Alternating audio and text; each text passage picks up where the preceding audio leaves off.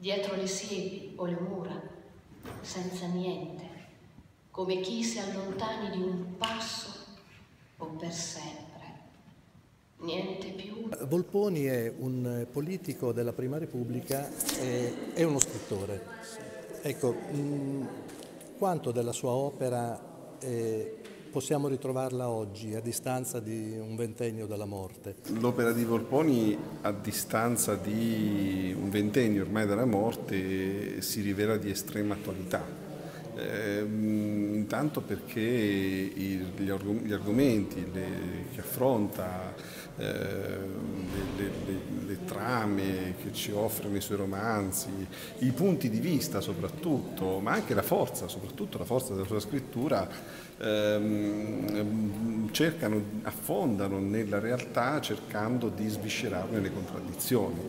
Di qui appunto il titolo estremo, nel senso che non si ferma a, prima si diceva durante la presentazione, lo diceva proprio benissimo Emiliano, non si ferma a registrare la superficie, ma irrompe nella realtà e, e cerca di coglierne eh, il, il, le profondità, di vederne le profondità. Certo questo produce una scrittura difficile, difficile questo è l'elemento se vogliamo dire tra virgolette un po' inattuale, nel senso che oggi lo scrittore che entra in una libreria cerca romanzi facili, ecco Volponi non si offre eh, in maniera facile, quindi è necessario che, lo, che il lettore eh, si, si, si, si, metta alla pari con lui, non, non lasci alla, alla, primo, alla, prima difficoltà. Forse, forse, questa è proprio la, la contraddizione è, con l'epoca attuale, che è un'epoca superficiale. Secondo che... me, ancora, non solo secondo me, ma penso di interpretare anche Emiliano, anche Tiziano che qui non è con noi, e poi soprattutto dei tanti eh, autori, relatori del, del, del, convegno dal quale questo volume è nato, ehm, pone proprio, richiede eh, una, una riflessione ulteriore, supplementare su quello che è il senso e oggi la missione della letteratura, cioè quella di non fermarsi a eh, guardare semplicemente, a registrare la realtà, ma a capirla e a capire anche poi ad agire. Sul davanti e poco dopo si rovesciò, come se avesse dovuto seguire la corrente fino alla fine. Invece restò adagiato sulle fronde che si scoprivano per ultimo. Eh, Emiliano, nel tuo, eh, nel tuo, intervento hai trovato un, ehm, un, eh, un'ispirazione di Volponi in Leopardi. Ci puoi spiegare questo, eh, diciamo questa, questo collegamento? Sì.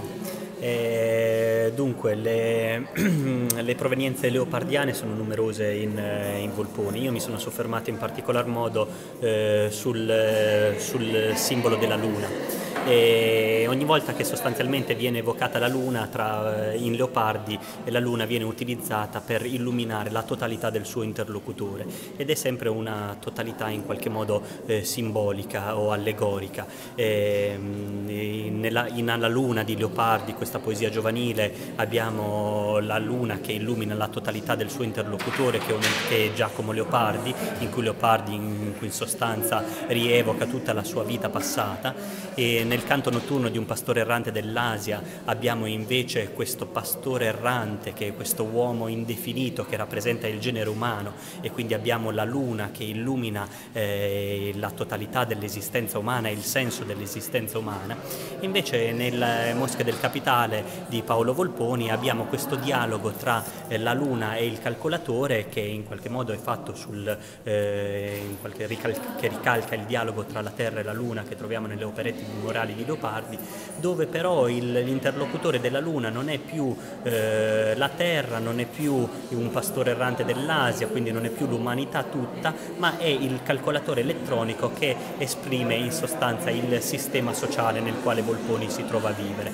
E da questo punto di vista, se eh, prima in Alla Luna abbiamo una totalità biografica, e nel pastore errante dell'Asia abbiamo una totalità antropologica, in Volponi invece nelle mosche del capitale abbiamo una totalità sociale e il calcolatore elettronico rappresenterebbe la logica quantitativa, la logica misurante in qualche modo che contraddistingue le eh, società eh, occidentali a conduzione capitalistica.